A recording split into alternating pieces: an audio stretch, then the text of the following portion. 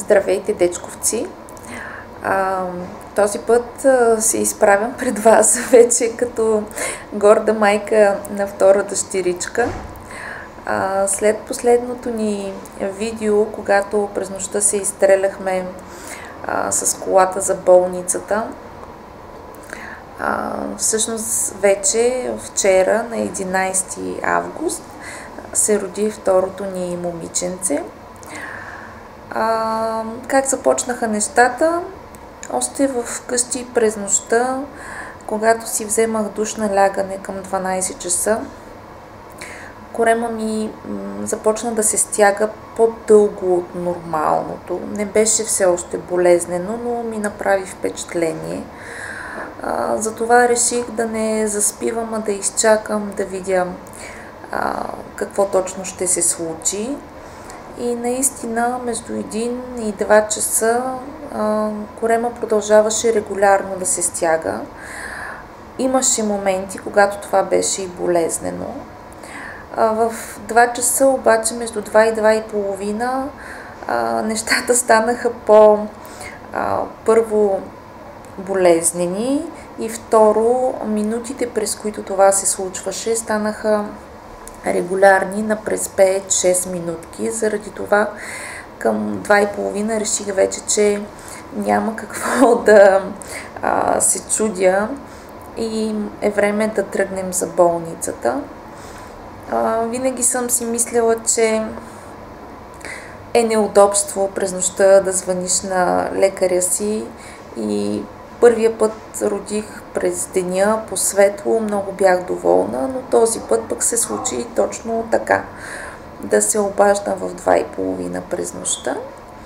А, но тяхната професия, колкото и да е прекрасна, а, с това, което всъщност постоянно се случва появяването на новия живот, така е свързана и с това а, денонощно да са на разположение пристигнахме в болницата в много добро настроение, тъй като по радиото звучеше една страхотна, много зареждаща песен на Queen. Пуснахме си я силно, много ни беше смешно, в, естествено в промеждутъците между две контракции, защото хич не е смешно, когато, а, когато се получи контракция. Приехаме в болницата, минах си тук стандартните процедури при приемане. Раждането всъщност се развиваше толкова бързо, че се оказа, че няма да има време за поставяне на епидуралната опойка.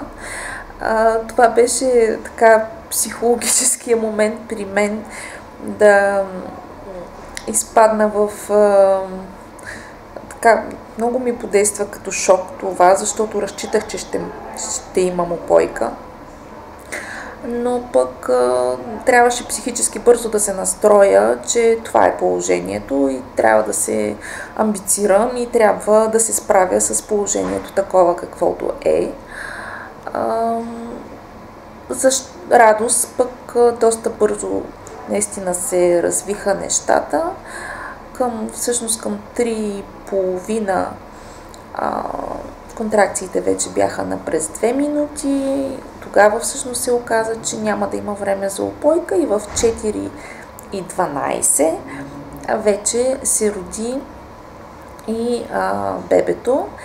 А, бебето е момиченце, а, казва се Аделина, роди се 2 кг и 900 грама, дълга беше 49 см. И а, вчерашния ден премина общо взето в оповестяване на а, новината на всички приятели, роднини, а, телефонни разговори и така нататък но пък емоцията е толкова хубава, че и хиляди пъти да се беше наложило да ги съобщавам тези неща, няма как това да ти е досадно, защото чувството е, поне вчерашния ден мина с такава приповдигната емоция на гордост, а, че все пак раждането е минало и че е минало успешно. въпреки това, че всъщност цялата нощ не бях спала, вчера се чувствах така от адреналина, може би, в приповдигнато настроение, бодро. А, започнаха да ни дават бебетата в часовете за хранене, въпреки че още нямам кърма. А, дори от вчера бебето а, се научи какво трябва да се прави на гърдата и доста силно всъщност засмуква, което е добре за да се стимулира появяването на кърма и е добре пък за нея, за да може да свиква с това какво, какво трябва да се прави. А, имаше много изследвания, които а, взеха и за нея, и за мен. За сега нещата са добре и се надявам следващия път, когато ни я доведат в стаята за следващото хранене, да й направи първите снимки и на нея. Това е за сега от мен. Чао до следващия път!